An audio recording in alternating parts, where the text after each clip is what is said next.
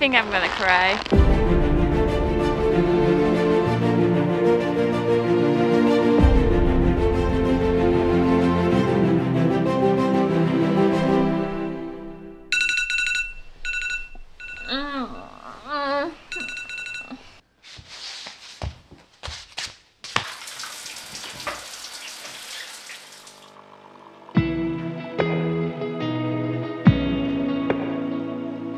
I think we made it uh, as intended and we're on our way before 6 a.m. and uh, yeah it's still dark the roads now are looking good and can't wait to see the sunrise on the way.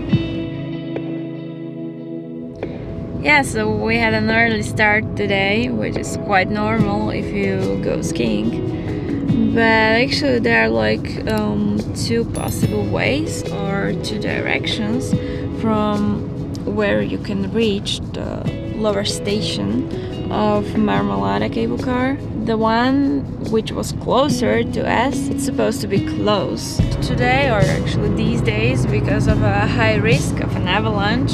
So that's why our journey took a little bit longer today. But we are not complaining at all because you know as we drive everything is covered in white it's so beautiful. We see all the villages and uh, hotels like they are starting to wake up and live and uh, yeah people are gathering and waiting for ski buses. And we actually also passed a few ski mountain resorts. As we go it's around minus 10 degrees celsius outside which means also the roads are a little bit slippery but they're quite well maintained so it's not a big deal.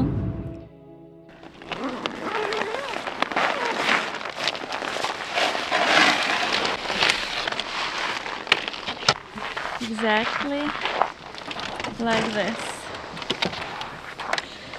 Starting point and this is the middle station where we want to go I, I would say one of the middle points uh, because I think this cable car in total has like four stops or three, not sure. no way Yes, right now we are at 1400 and we're going almost 2000 meters up.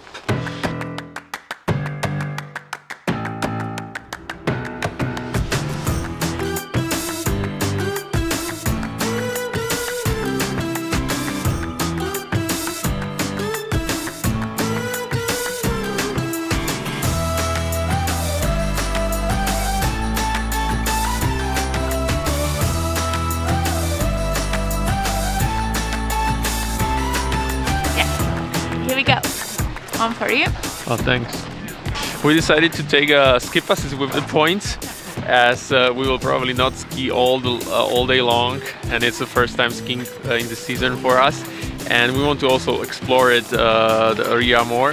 So the, with this ski pass we will be charged for each ride and we can also take this ski pass for another day and use it in other ski resort here in Dolomites. yeah so it's more like enjoying the mountains than you know skiing but I feel like this is gonna be No, a it's skiing day. and enjoying. yeah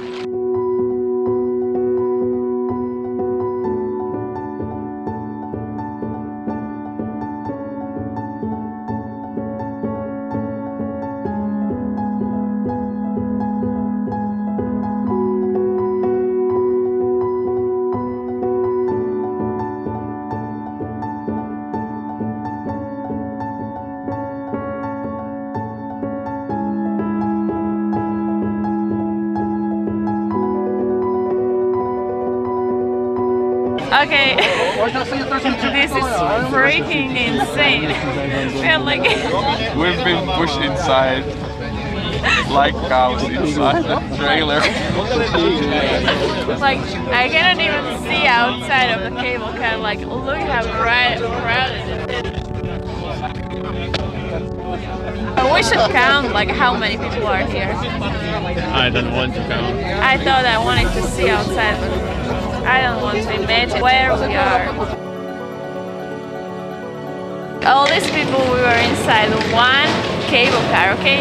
I think a, a big bus would fit this amount of people. Really. Look, and it's not that big. Like all in one car, okay?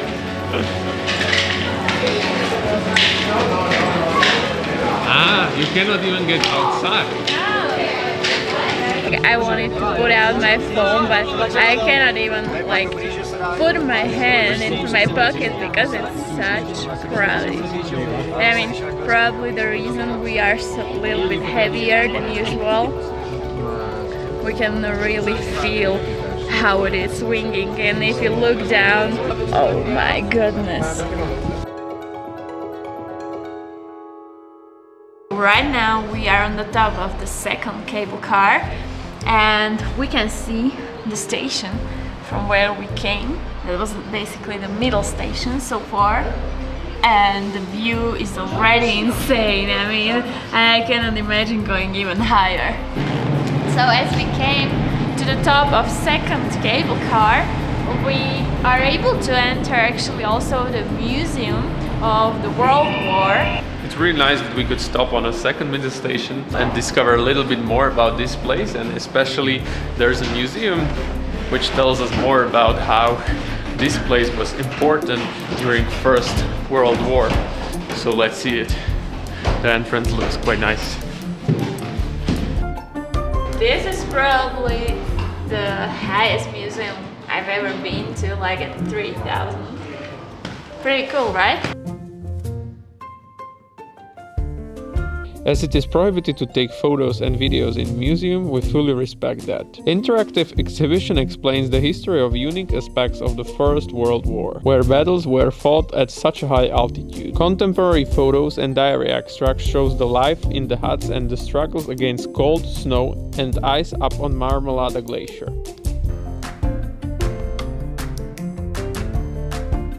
We didn't even come to the top, but we have to have a cappuccino. I mean, look at this view. Like, how, how often do you have a coffee with this view? You know? Michael, does it taste better with this view? No, it's a um, very good coffee. We are 3,000 meters up.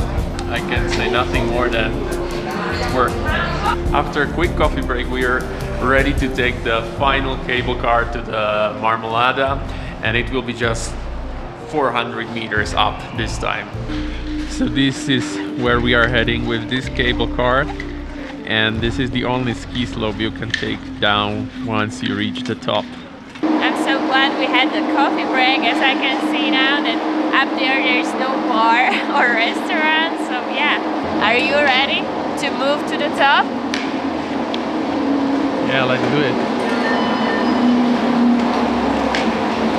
It's so nice that it opens automatically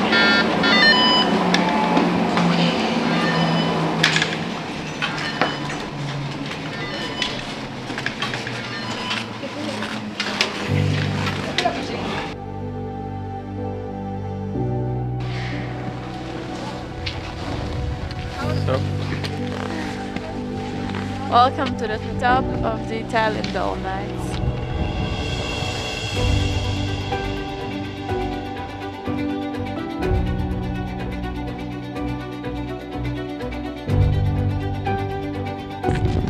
This is the place where we are right now.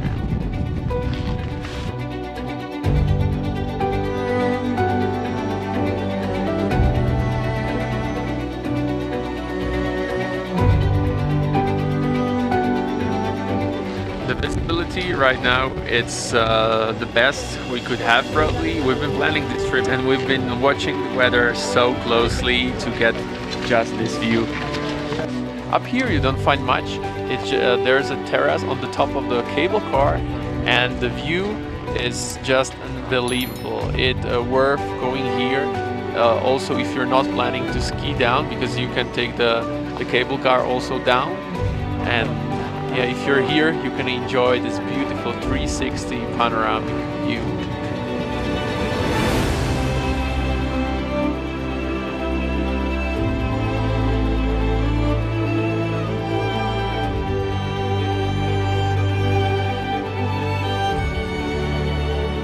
under the terrace on the top there is this gem, a little cave with a statue of uh, Holy Mary inside. And what is really interesting is that John Paul II was here and he blessed this place.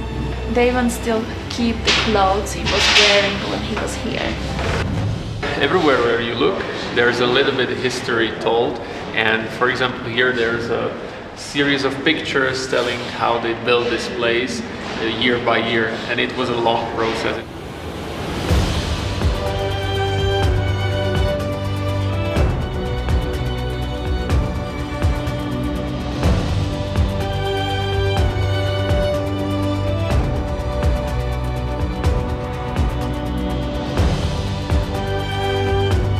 Think I'm gonna cry. I mean, from this place you can really see how humongous this mountain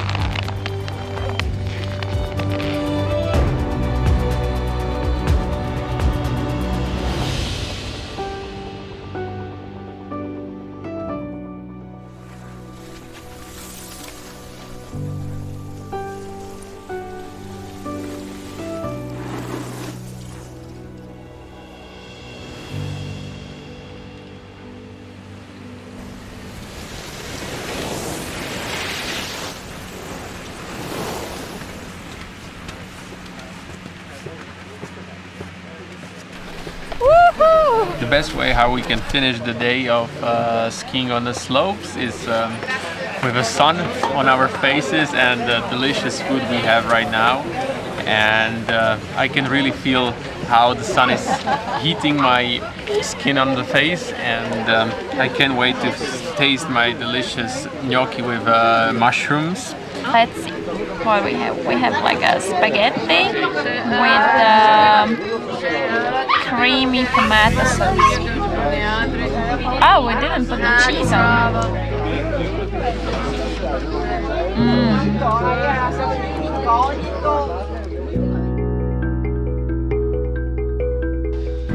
I think this was the best idea to end up this day with food. It was so much needed. It was delicious, and we didn't even finish like half of the plans we had here. So we will definitely be back because the area of Dolomiti Superski is just, just insane. Marmolada was worth all the effort, I would say. I don't know about you. yeah, And uh, it was so hard not like to focus on skiing and not to stop on each corner, right? And exactly every time you stop, you just yeah. you're thinking if this is real. And uh, if you enjoy this adventure with us, please like this video and subscribe our channel. And see you in the next one. See ya. Bye, guys.